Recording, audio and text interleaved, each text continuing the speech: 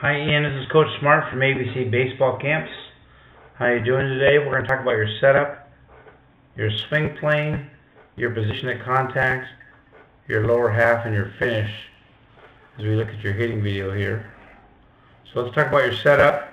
Looks like a pretty basic, uh, simple setup, which is what we're looking for, something you can repeat. Your feet looks like they're on a parallel line.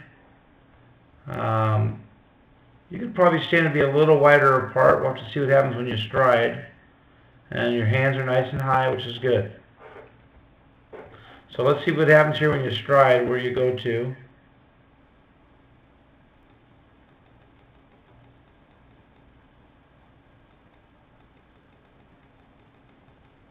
Okay, so it really appears that when you stride in that you're going from a nice closed stance to a nice to a not so nice open stance. Got to get that toe back to that line. You see the angle of your back foot in? Right there? That's how your front foot should be right now. Is like that. When you let it get this way, okay, what you do is you let your front hip open up here. And when that front hip opens up, that makes you makes it very difficult for you to hit balls on the outside half of the plate. All big league guys, all high-level college guys are always fighting their front side. They're always thinking about trying to keep the, how they're going to keep that hip and that front shoulder in on that pitches on the outside half, especially against off-speed stuff. So it's important that you make sure that you stride, you stride to a square parallel stance. And also remember, Ian, that when you stride, that little move you make right here, going forward with your foot, okay, it's just your foot that goes. When you transfer like this, don't transfer your weight forward until after your foot hits the ground. Then you start transferring weight. But you can see how, how much your front hip is open right here. So we got to make sure we step to a, we, when we stride, we stride to a square parallel stance. Okay? Okay, let's talk about your swing plane.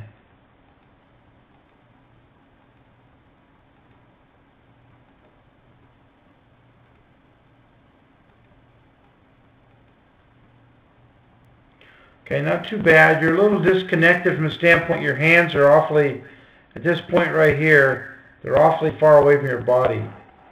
This elbow should be right against your side here. This elbow right here should be against your side and stay connected.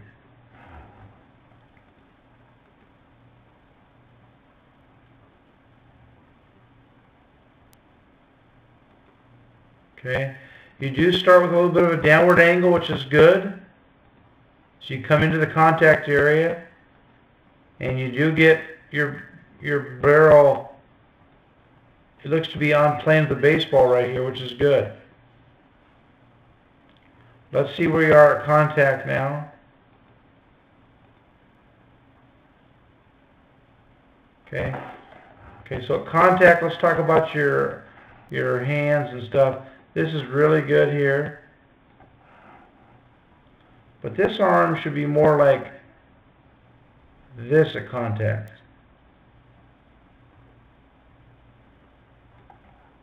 Okay, you show that some hitting instructors will call that power L right there. Okay. Um, your eyes, your head slot, it looks like you're looking out here. And right now your head should be leaning down behind that barrel. Okay.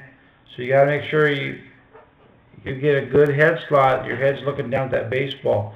Don't have what we call frozen eyes, where you watch where the ball comes from, your eyes kind of stay right there. You don't actually track the baseball. So you got to make sure that you are right there. You should be have your head. I should be. I shouldn't even be able to see your eyes right now because your head is tilted down looking at the baseball. Um, getting your lower half involved. Uh, your lower half looks really good. Uh, we'll talk about your backside first. this angle of your back leg here is good. You're trying to take this knee and drive it down the inside of that front foot. Okay? Now, the only thing that's not so good is the fact that that front foot is facing this way instead of like this.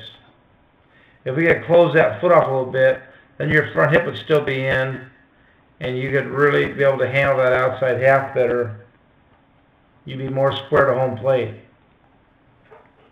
And again, the longer you can stay square to home plate with your upper body, the more balls you're going to square up. Okay? So let's look at your finish.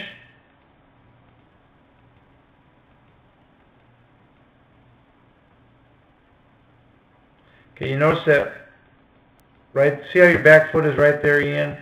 That's really good. Your back foot should stay just like that throughout your finish. You can see you now you're pushing backwards.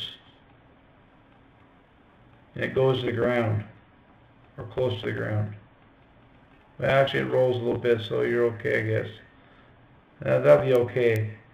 Uh, just try to maintain that that nice bend you have in your leg that you had at contact throughout your swing.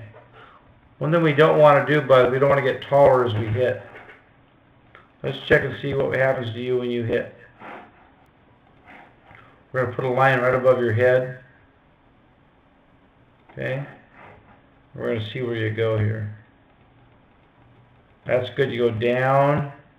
Everybody should compress down to hit and you make contact, you just stay right there. You shouldn't be coming up at all. Okay? You want to stay in your legs, that's where power comes from. We want to hit with our big muscles, not our, our smaller muscles.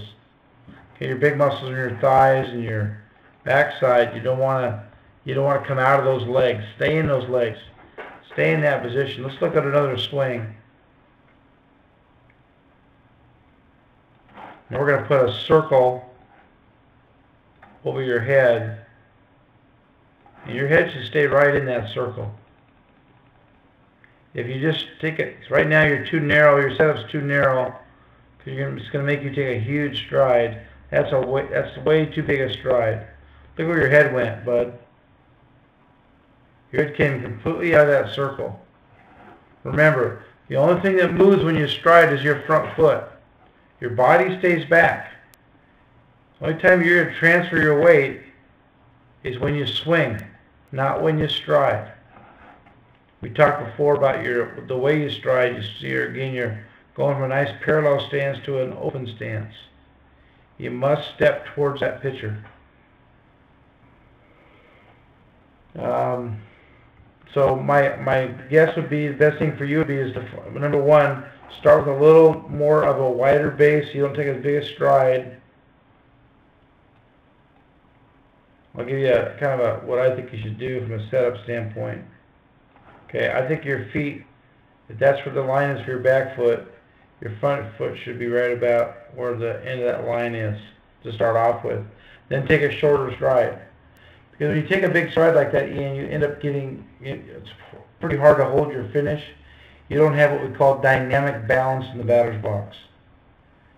And all hitting guys are looking for guys that have dynamic balance in the batter's box. They're going to be athletic in there. They're going to be able to take their swing and hold their finish and have some athleticism. Okay? So, but from a setup standpoint, we got to get wider. Your swing plane's fine. Your position of contact's pretty good. You definitely get your lower half involved, but you lose some of that ability to get your lower half involved because of where that stride foot goes. Okay? Now this knee you have back here pushing down has nothing to push against because you're opened up. Okay? Try to get that foot going this way and not like that. Okay? We need to hit against a firm front side. A firm front side. So what I would do from a drill standpoint, Ian, is I would uh, find something you can put in front of your foot that doesn't allow you in behind it doesn't allow you to um, I have a son that plays in college that had some of the same issues, and I I built something called a stride box. And it was made out of two by fours, and it went like this.